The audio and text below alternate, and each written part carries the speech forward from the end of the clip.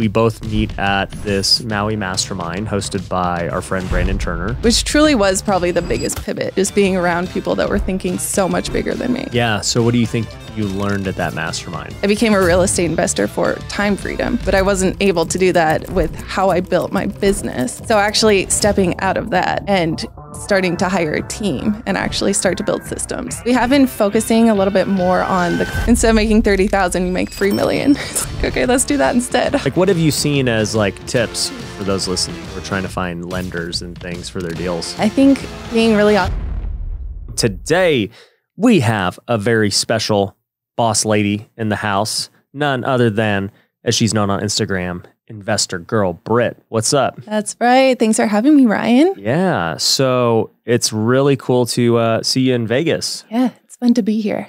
You said you were just stopping in Yeah. to then go to Boise. Yeah, exactly. And then you stopped by the studio. yeah, just hopping in, hopping out. I'm like, hey, Ryan, do you have a quick minute? Let's do a podcast. Yeah. so I'm I'm excited about it. Um, you know, I'll let you kind of tell the story, but uh, you know, we've met when did we meet?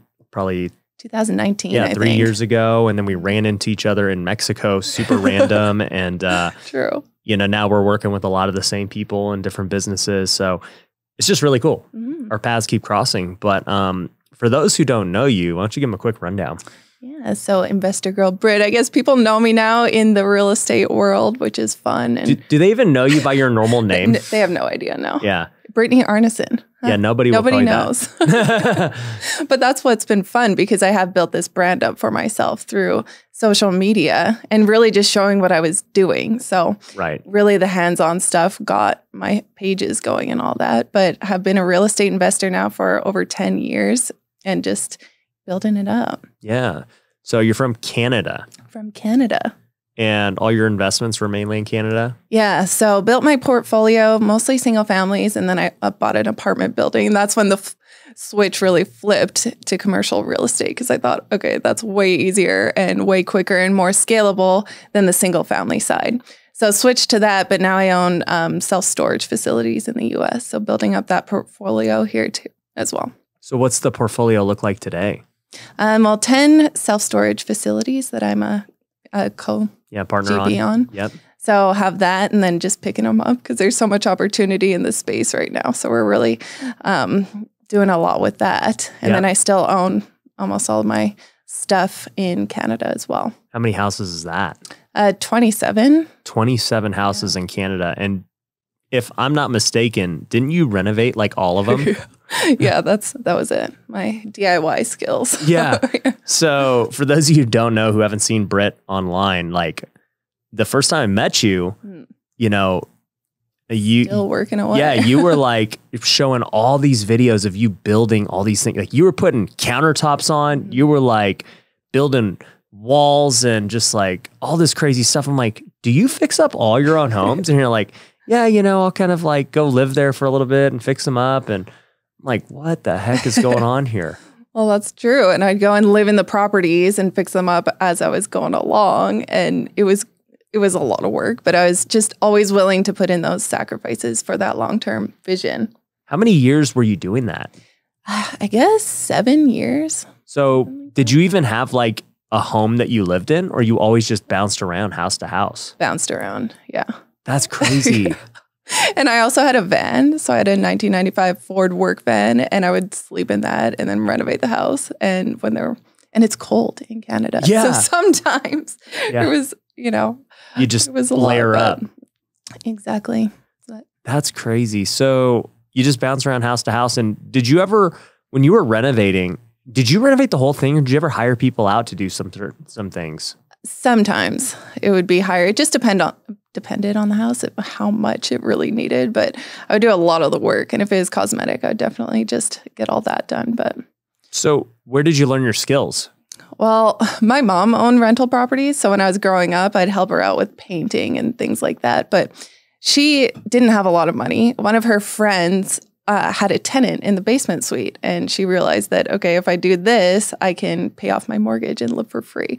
So, but she didn't really know what she was doing, and she's like, "Hey, kids, how about I pay you a dollar every Friday to help me renovate this property and Right. basement suite?" So I learned a little bit doing that, but then really, the best way to learn is just jumping in and and getting it done. But honestly, a lot of YouTube and Instagrammers, and I would message people, say, Hey, I'm working on this project, putting up this brick wall. Like, what's the best advice you have? People are extremely helpful if you're willing to put in the work and actually take that advice.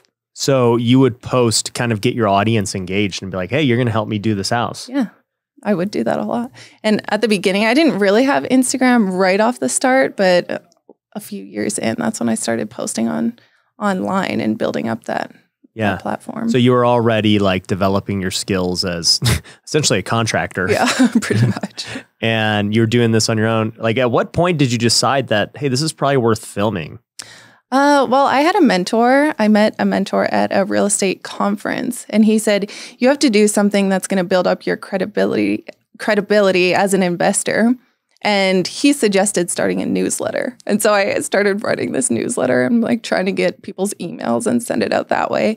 And then I realized, okay, this isn't really my thing. Writing, I didn't like it that much. So I found Instagram, and I wasn't even really on Instagram before at all. But photos, videos, that's more my style. So I got on Instagram and just started posting, like, hey, I found these cheap kitchen cabinets at Habitat for Humanity. Like, this is what mm-hmm. I paid. And then I started posting a little bit more that way. But I knew I had to do something to build up my credibility and show what I was working on to get investors and things like that in the future. Right. Well, and I think it was interesting is like, you know, you were one of the first people to really start that I saw anyways in the real estate space putting out videos and mm-hmm. content, right? Oh, like it's way more popular now. Yeah. You know, Right. with reels and everything else, like everybody's putting out content. But you know, I ended up meeting you in 2019 Mhm. um, at the Maui Mastermind, and at the time, I think I don't know how many followers you had on Instagram, like Mhm. maybe Probably less than a hundred thousand. Probably around 100 or Yeah, something. Something like that. And to get to 100,000 on Instagram back then, Mm. the algorithm isn't what it is today where, you know, you can get some viral reels and they'll push you. Like, no, dude, it was super hard back then. It is. How did you go about building the following then? Well, I think it was just consistency. And it wasn't easy. Even at the start, it took me a full year and I couldn't figure out how to get to a thousand followers. I was like, why is this so hard? But then I think it really was just consistency and being vulnerable and actually showing the reality. And then people really could relate to that because they're like, wow, I'm having the same struggles Britt is having.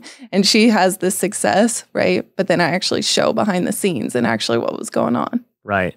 Yeah. And I think just seeing you, you know, fix up these houses and like just getting after it, you know, and like you, you didn't miss posting. Like you were just very consistent Mhm. and it, it's just, it was a unique thing. Nobody, first off, let alone being a girl doing all of the construction, which is already rare in itself. Mhm. Um, but like guys and stuff weren't even doing that. Mm.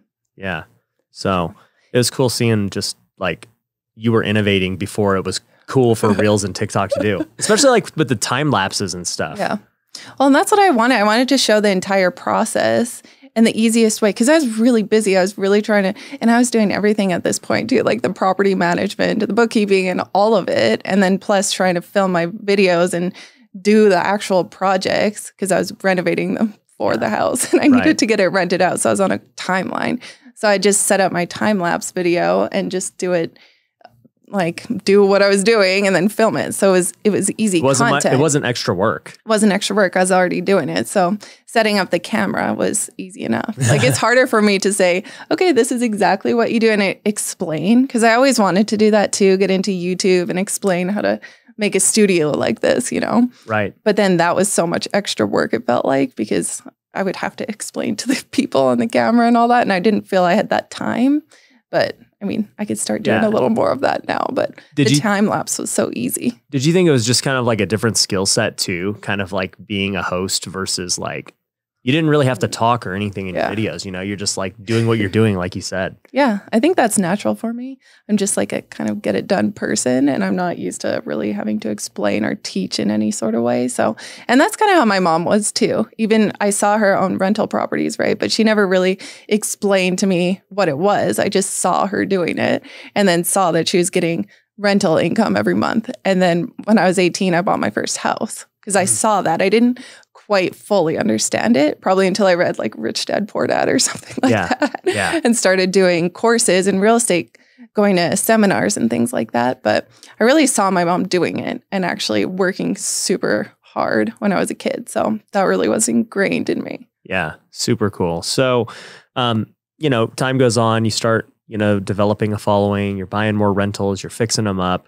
And then, um, you know, 2019, we we both meet at this Maui mastermind hosted by our friend Brandon Turner. Mhm. And um, I think there's maybe like 20 of us or so Yeah.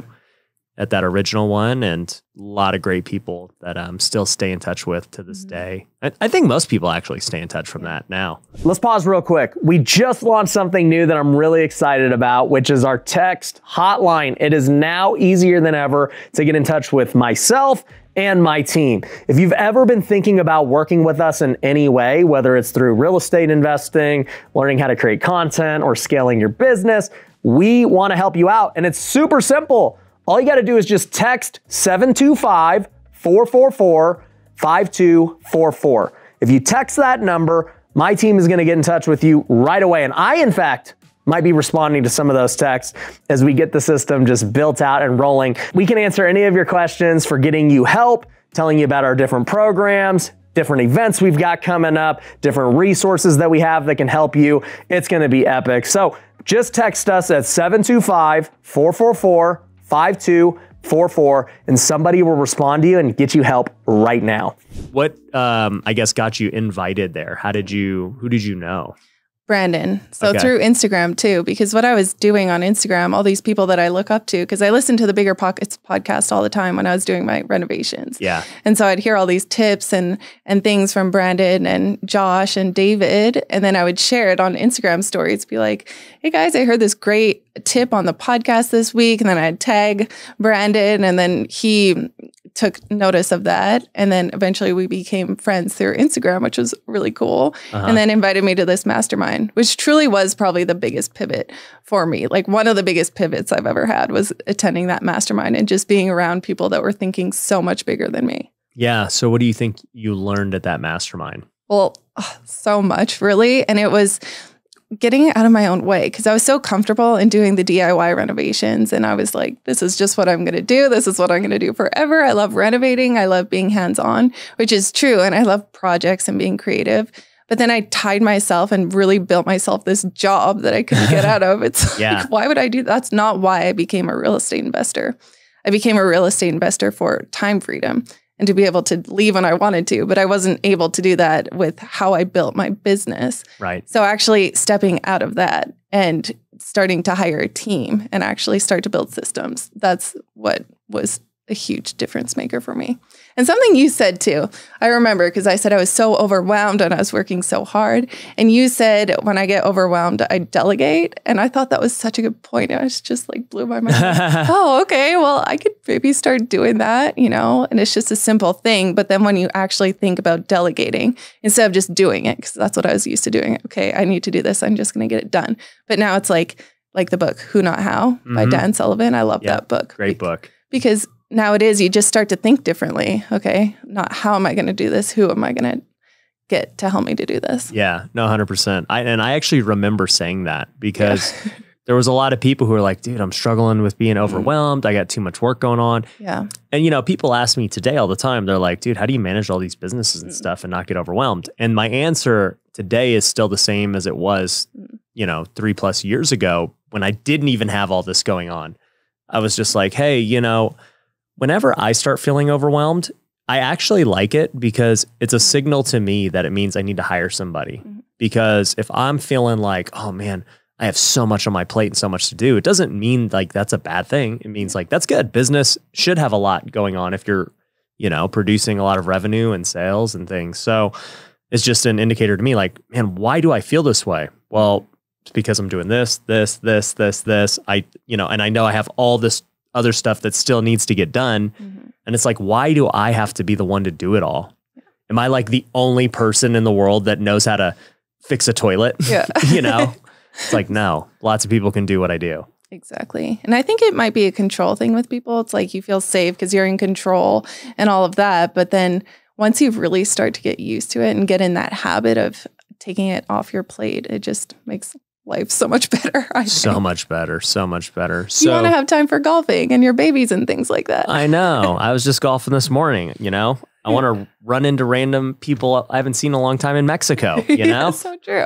so yeah, you know, we, we met there and you actually probably were a bigger catalyst. And I don't ever tell this story um, much about my social media career, but this was actually the very beginning of what kind of got me on the journey of social media. You know, I talk about how during COVID, you know, I looked at everything. I said, man, where's the world going? And it kind of became apparent to me that social media was huge.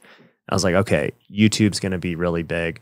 TikTok's going to be really big. I need to go all in on these. But what happened about six months before that was meeting you. And I remember, you know, in the mastermind, we had a little breakout groups, and you and I were in a group. And, you know, basically, I don't remember what I said or the question I had, but you were, you said basically, hey, I think you could make really good content and you could grow your following really fast if you just focused on it. Mhm. And at the time, I didn't care. I was just like, yeah, you know, I'm really good at doing business. That's what I want to do.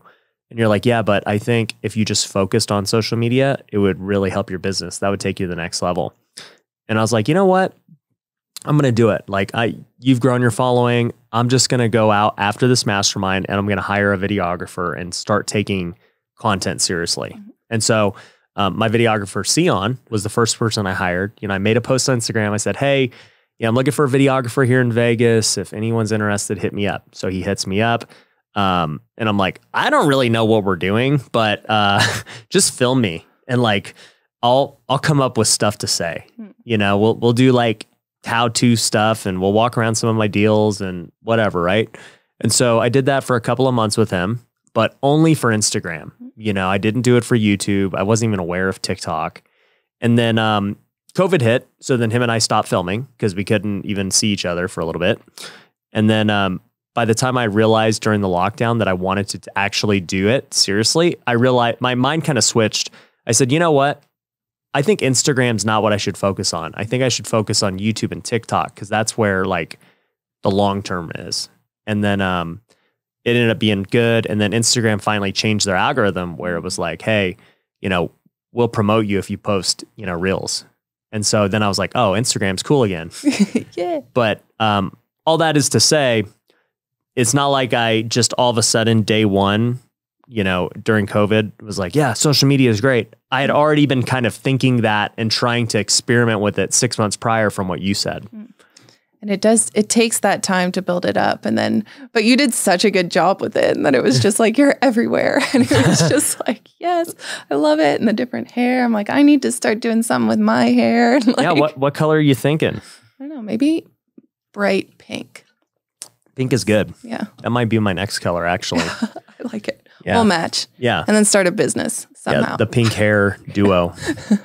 so, yeah, you know, we we go from that mastermind. Um, I go down this social media path. Um, what what were you doing during COVID? Uh, just the same stuff. COVID did not change much for me at all, really. Yeah. I mean, it did because after the mastermind, everything changed for me because I just started thinking so much differently. Mhm. And then it was like, okay, a few years later, people that we met at that mastermind are now my partners. So AJ Osborne, for example. Yep. So we're partnering on these self storage facilities, and you build these relationships and connections with people, and you could see it in the long term too. So I think like that's really important with going to these masterminds and different things like that and actually getting out there and meeting people because you never know what's going to come out of it even 2 years later. Like there's always connections that could be made and I think that's so important in real estate. Yeah, no, and AJ and I are doing some stuff together now too, and so it's just like, yeah, a lot of people from that mastermind, we end up crossing paths, and then like it leads to some other things. Yeah, exactly. Um, and it only takes really one connection, one idea, one opportunity and then to change really the course of your life. So it's just like I think it's so important to get yourself out there like that. Yeah, no, 100%. So, you know, you've kind of transitioned a little bit. You've talked mm-hmm. about how, you know, who not how, right? Yeah. You're obviously, I don't think you're still fixing up your own homes anymore. Not anymore. I'll do a little project. This kind of stuff is really fun for me, like studios and really the cool backdrops and things like that. Not I'll renovating, do not creative renovating, state of- creative, just cool stuff. So I like to do small projects like that, but other than that, I'm not renovating at all anymore, or even buying single family homes. I haven't bought one for, yeah, over three years, I guess now. You're just all in on commercial. Yeah, I love commercial. So what like what are you doing these days? How are you spending your time since it used to be only spent renovating? yeah, well, I guess really building my team. I've spent a lot of time doing that and building up my socials. And then the more I build up my social, the more opportunity I have to get investors in on our deals and do much larger deals than what I could have before. And that's because I do have a team backing me and amazing partners as well. yeah. So what's your social team look like now? Well, right now I just have one girl, Jade, under me. So she's been awesome and just getting me really organized with my content and getting a lot more out there. So we have a schedule and a content calendar. Really, how I was running it before was the same morning. I'm like, okay, it's Wednesday. I post every Wednesday. So what am I going to post? And I quickly edit my own video. So then Jade's really been helping me a lot with that. And then I have video editors as well. Mostly in the Philippines who who Yeah. help with the editing and all that. So it's not really a team. Like my social media team is really nothing still, but um, even getting a videographer. And the problem is, I think I travel so much that it's hard to, I don't have an office or anything that's like one place. I'm kind of a little bit moving around. So Right. I need someone to just follow me. I know. So I got Austin with me now, you know. Exactly. I I just realized I'm like, you know what? I'm just gonna have people follow me and that's the Yeah. content. Makes you look like a big time celebrity. I know. I'm like, I'm so busy. Please. Stay away from me, please, guys. Um yeah, I'm just gonna start taking Austin to like restaurants and stuff. And I'm like, guys, stand back, please. So Stand so with AJ and everything you guys are doing, I mean, you're raising money for the self storage units and everything else. Um, you know, is that the plan going forward? Just kind of make content and you know raise money and, and just keep doing more and more deals. Yeah, exactly. And I think it's been such a cool way to do it. And even so, it probably was maybe six months as well after our Maui mastermind. And I was trying to buy a self storage facility on my own in Canada. Okay. And I was talking to AJ. It was a great deal. Everything was going well. And then AJ said, and I think I was trying to raise capital for this deal as well. It was still a smaller facility, but he said, why don't you put it out there on Instagram that you're looking for partnerships and people to come in on these deals with you? And I said, AJ, you know, I'm a single family person. No one's going to want to partner with me. That's what I thought. That's where my mindset was at that time. Mhm. So I put it out there. Hey, anyone looking to partner on real estate, put your email here. I got 300 emails off of that one Instagram story.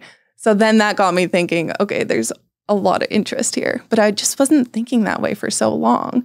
So then I started to really push it out there and then got tons of emails, started to gather a lot of investors. And then a few years down the line, like I started doing that for a while, which is also why I think everyone should start collecting information and all that and emails, I think specifically right off the bat, because having that data is really important. And then in the future, when you start to do email sequences and all that too, I think it's just great to have because I spent so many years just not collecting any information from my followers or people at all. So Yeah, it's funny. They say to I, I've heard this um, saying to content creators that you know you don't own the platform you're on, Yeah, right? YouTube could shut you down tomorrow. Instagram could you know ban your account, Yeah. right? But you know if you own the data, the emails, the phone numbers, everything else, then you own that. exactly. So yeah, something I've been thinking about too recently is building the email list better. Um, I hired an email guy, you know, about a few months ago. He's been doing great. But um, up to that point, I, I was like you. I wasn't utilizing email at all because I think when you have social media influence, you kind of take it for granted. Mm. You're just like, Yeah. oh yeah, I'll just post. yeah. It's easy Yeah, until your to- Instagram's deleted and then Exactly. like, now what do I do? Yeah, until Instagram doesn't like something you say, and now Yeah. you don't have one. And it happens. It's Oh, yeah. freaky. So can't really build your business based on that variable too. That could could change. Yeah. That's why I've also spent a considerable amount of time building all the platforms, right? It's like I'm on TikTok and YouTube and podcast and Instagram and you know, I haven't really done LinkedIn too much, but now I'm building my Twitter Mm. and it's just like, yeah, you know what? I'm aware that one of these could just go south. Yeah. It's true. If you haven't heard, WealthCon is coming back to Las Vegas April 18th to the 20th, and I believe it's going to be our biggest one yet. We're going to try and fill the Caesars Palace with 2,000 top level real estate investors and entrepreneurs. I've got amazing speakers like Neil Patel, Tim Grover, Dan Martell, Pace Morby, and many others coming, and it's going to be great. So if you want to get tickets today, we got some special deals going on. All you got to do is text me at 725 444 5244. We'll get you info on what kind of tickets we got, all the way from general admission to our diamond level tickets, where you're able to network with the speakers, go backstage, ask them questions, and then have a dinner with all of us in a really intimate setting. It's going to be great. So if you want to get tickets, text me at 725 444 5244. What do you see, um, you know, I guess your life evolving into as time goes on? Like, it's interesting that you made all your content DIY. Mm. So, like, how do you plan to make content now if you're not doing that? And like, how do you Mm. transition into, like, yeah, you know, we're we're raising for, you know, commercial. Well, and that was a really tricky part for me because I did spend so many years in the DIY and the single family space. And then when I started to transition to commercial, it was it was tough because I had no idea how the posts were going to do, how it would be received. But I'm just always trying to provide a lot of value to people and educate them or inspire them.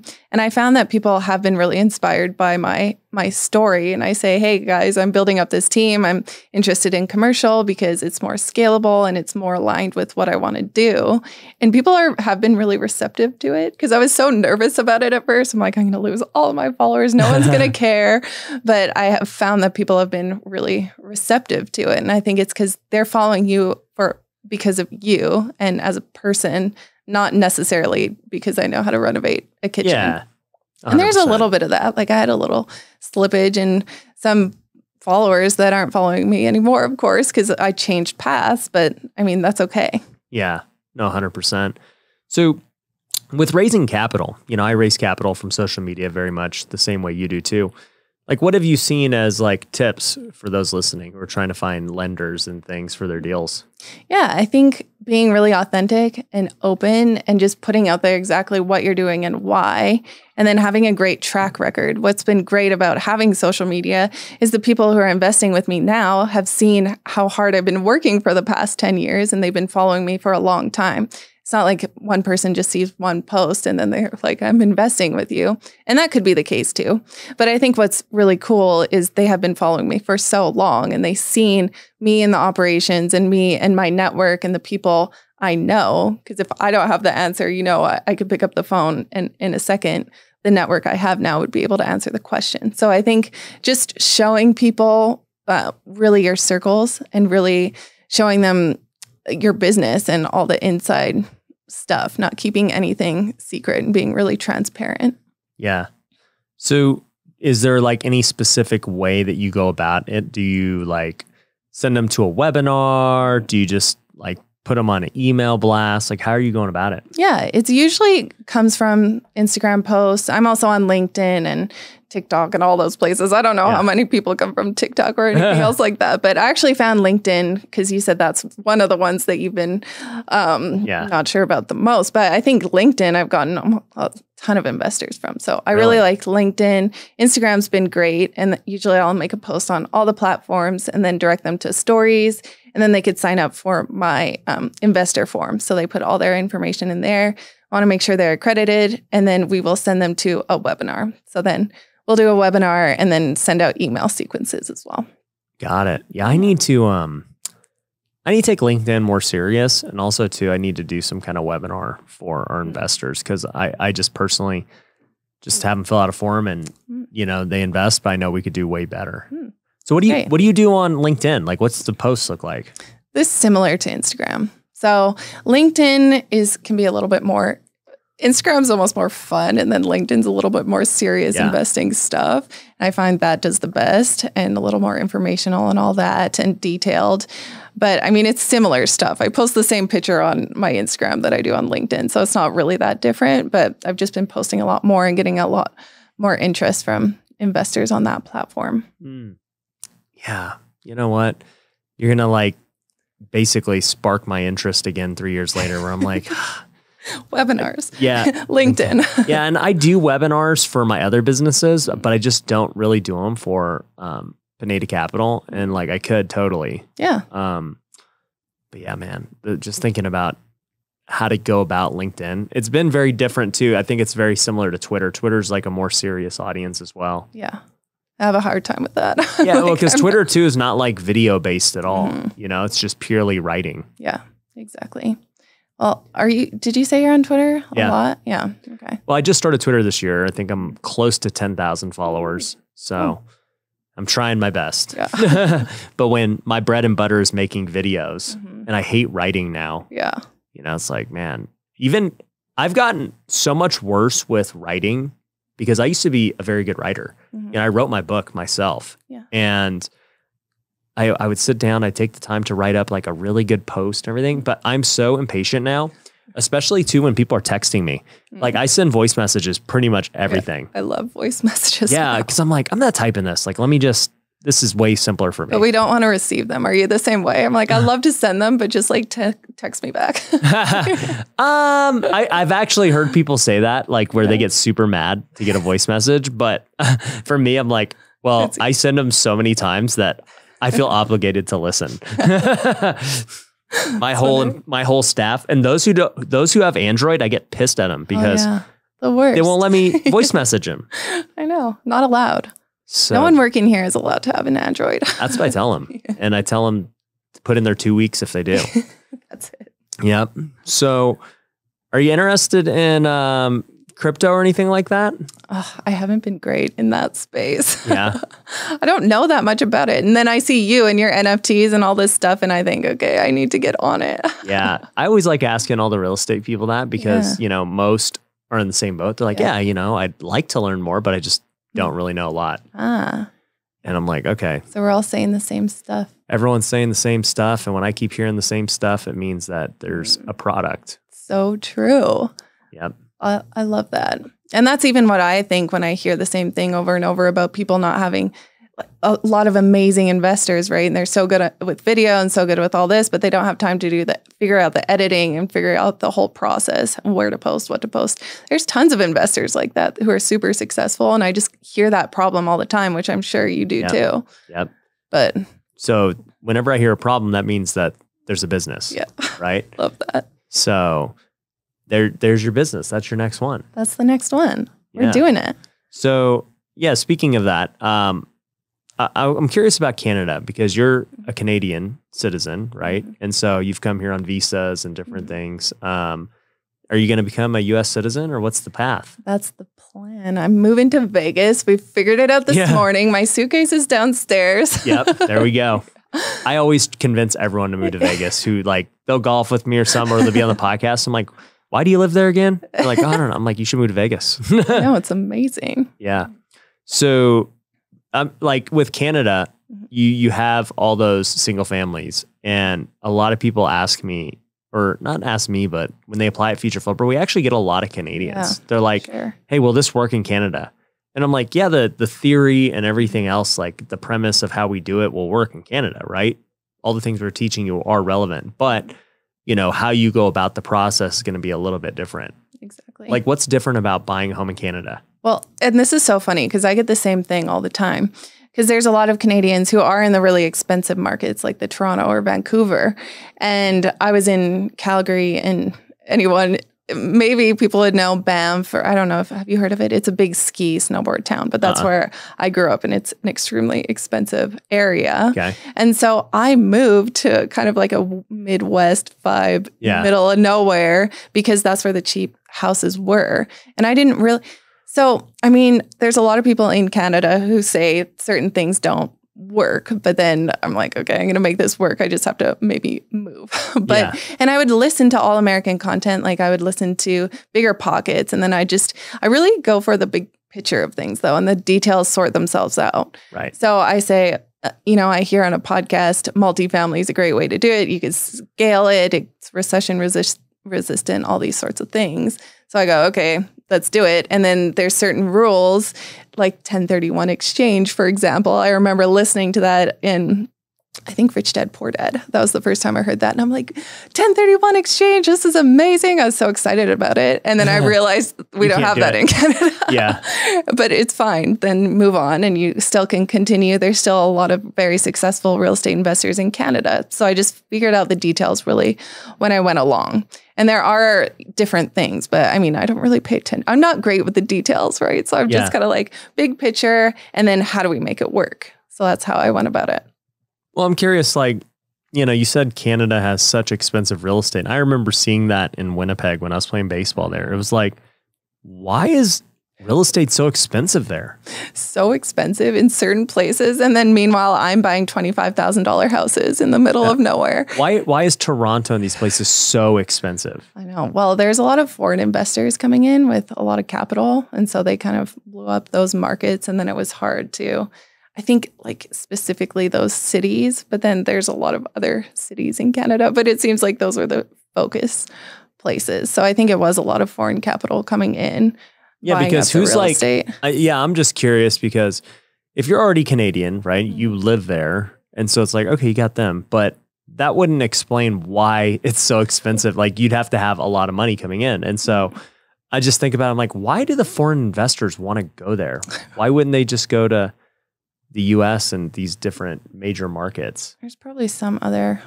Like I just wonder if they have a benefit, if the if the government has like incentive programs or something like that. There was, and now they're kind of stopping it. And now I don't even really pay attention. Yeah. that's the problem because I, I don't, I kind of go in my areas and where it makes sense, and then all the rest of it I just don't even bother paying attention to because there's so many markets, and that's why you know even going and investing in the states now, that's where my focus has been. But there's always different ways to do it, and if it doesn't make sense to invest in Vancouver, I'm not going to do that, and I'm not going to care. But Yeah. I, I also think there's a lot of people who are successful in those markets too. I just don't exactly know how they're doing it, but Yeah. So how um how are your your taxes w- between the two then? Like how does that go? that's been a complicated situation. so that's why we have great tax teams and they've been really working through all of that because it does get complicated between the two countries but then i just leave it to the people who know what they're doing. And that's what i started doing with the who not how right? Because Right. beforehand i'd be like well that's too complicated. I'm not going to do that you know? And then just forget the idea. But now it's like no okay who can actually solve this problem and who's going to be able to structure it? And then you get the best in the business and they structure it all for you and then that's how I get it done. Okay. So and I own a tax firm, but mm.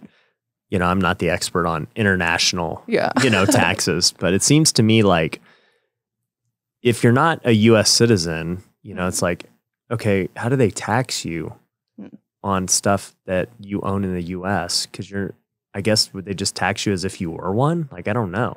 yeah i mean i'm still trying to figure out all this details too There you go. it's true Yeah, no, it's crazy. So, what do you see as like the future of, you know, I guess your content and everything else? Like, where do you see the world going? I mean, obviously, you were on the cutting edge of it five years ago, like doing this for everyone else. Do you think like it's still going to be important in the years to come? Do you still think like everyone's going to do it? So then it becomes like nobody's doing it? Like, I don't know. Yeah, I mean, I think it's always really important. And it's changed my life so much. And even just with the connections that I made and the amazing friends and then the circles that you get into, I think there's always people that are going to be online. It is kind of the way the world is going. And now I'm kind of interested in all the businesses you've been doing with all the NFTs and all this kind of crazy stuff, like the online real estate world and how that's all going to look. But it just seems to be the way of the future. So I'm just going to continue creating content and try to figure out what people want to know, what they want to hear about, and then go Yeah. off of that. Well, and don't you, um, you do have another business with um, AJ. Don't you guys, you guys are doing education now too, right? Yeah, we do. So REI Circle is our group, and that's been going really well. It's just so cool to see the people really creating those partnerships. And we do, we have been focusing a little bit more on the commercial real estate, but we opened it up for everyone. But that's kind of the path that we took because we didn't see a lot of groups out there that were focused specifically on commercial real estate. So we're focusing on that, but then opening it up for everyone. Because I always say you want to think bigger sooner. So you want to start with those ideas, you know, as soon as you get into real estate, because then it's just going to come together that much quicker. Mm-hmm. Yeah, I've realized that too. You know, as a guy who's been in single family for a long time, it's like, man, commercial real estate has some really big deals. Like Yeah. these are so cool just to see the numbers and like ways people make money. And I'm like, Mhm. man, dude, that guy just flipped that that building and made three million bucks like that. It was nothing. It's easy. And the thing is, it, it is the same steps and the same process Yeah. to do that. It's not anything different. yeah. Instead of making 30,000, you make 3 million. It's like, okay, let's do that instead. Yeah, I, I just my mind was kind of shocked at just how I guess, you know, even a guy like me, I still have these like false beliefs. You know, Yeah. one thing we always try to do with students is break their false beliefs because so many of them come in like so I don't want to say damaged by like different things like Mhm. but they they just have these false beliefs where they're like, "Oh man, I don't have enough money. I don't you know, there's no way I can do this until I save up." It's like, "No, as Mhm. You you're raising money for every deal. We never have enough money, Exactly. right? Then there'll be people like, "Oh, well, I can't fix, you know, I don't know how to fix a house." Like, Mhm. well, you don't have to. hmm You know, oh, the market's too competitive. The market is going to tank. It's like these are all just like false beliefs and fears that don't allow you to move up and like you know, serve and and grow your business. And it's like you're always going to have these there's always a fear that the market could tank tomorrow. hmm Doesn't matter how good it is.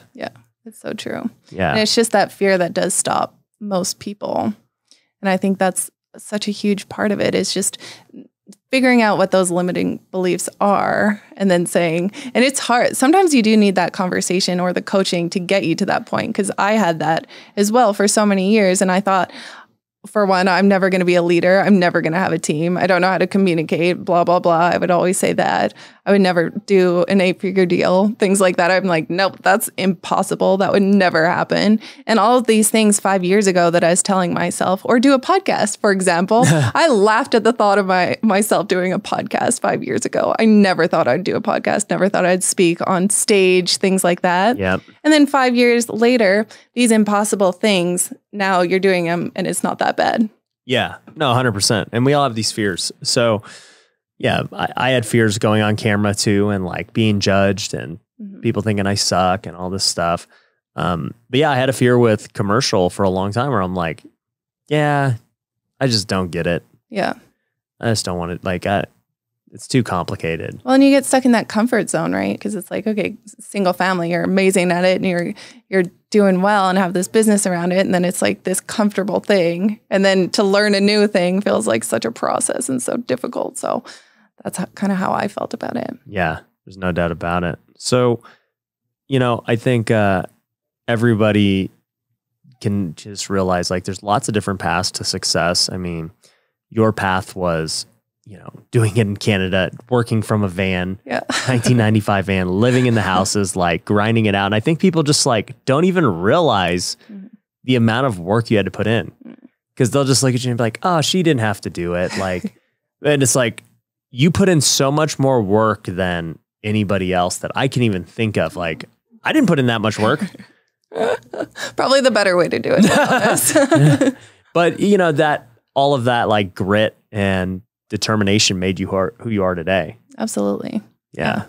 I think for me, like all those years I spent in the minor leagues playing baseball, making twelve hundred bucks a month, like Mhm. made me who I am today. I was like, yeah, Mhm. if I could do that, the rest of the stuff is simple. Yeah, exactly. And we learn those lessons one way or another. And then you could either grow and, you know, reach a higher potential or you can kind of stay that way. And it, that could be fine too. Certain people want to stay in uh, one path, but like you and I, we we could feel a higher potential and we wanted to do bigger things. So I think that's where that comes along. Yeah. Speaking of that, what do you think motivates you at this point? Oh, that's a good question. And I actually have almost been taking a step back, which is funny because my businesses are doing better than they ever have. But I've actually been taking taking a step back away from work because I realized during all that time and working so hard on the properties and all this and being so obsessed with this financial freedom idea and all this, but then a lot of other things fell behind, right? Like my health and my faith and all of these things. Mhm. And then I started to look at this wheel of life and where are my relationships at? Where are all of these other parts of life? And they were really starting to fall behind. And I was so, because we, probably have this obsessive personality where it's okay we want to get this done, be successful, and all this stuff. And then everything else falls away. So the last year, I've really been focusing on that and actually being a little bit, I don't know if balanced is the right word, but trying to focus on other things rather than just work and real estate. Yeah, so hard for investors to do. It is. It's actually why I created the Wealthy Way. For those of you who've never gone through it, definitely um, go to wealthyway.com. We got a course for free, a planner for free. Everything's free there just to kind of like help entrepreneurs balance their life better because it's just like, I love that. it's such a common thing. hmm Yeah. Well, and I turned 30 this year, and I'm like, okay, where did I think I was going to be at 30 and where am I right now? Because Yeah. maybe it doesn't look exactly the same, but you know, that's what I'm trying to focus on now. Now that I have an amazing team, I have more time to focus on myself and other things that are very important. But Yeah, I love it. So I think everyone got a lot of value out of today's episode. Where can um, they continue to follow you? Well, Investor Girl Britt really everywhere. Not on YouTube yet. Maybe I'll start that next. But Yeah. YouTube's a whole different beast. yeah. yeah. Well, that's pretty much it. And then my website is BrittanyArnason.com. Is that how they get on the email list? Mm-hmm. Brittany Arnason. That's her real name, guys. That's my real name. Nobody knows it, but and I think someone took investorgirlbritt.com. That's why I don't have that. They're trying Have to sell it to you. Yeah. I shouldn't so have funny. said that. Now it's prices going up. Prices going up. Somebody's taken many of my domains and websites. I had Yeah. to pay money to go get my my handle at Ryan Pineda. So Oh, interesting. people are price gouging me. Oh yeah, of course. So